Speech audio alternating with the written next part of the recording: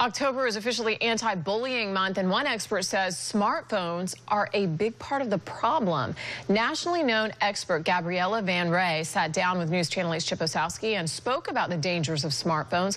She says bullies are using technology to target their victims, and parents are not doing enough to protect their kids. She compares smartphones to a loaded weapon. It is a weapon, and I really mean that in all the sense of the word a weapon. You give the children something in their hands that they think is fun and like a toy, but they use it to hurt other children. Van Rij's advice to parents, watch what your children are doing with their cell phones and always keep an open dialogue. Coming up, a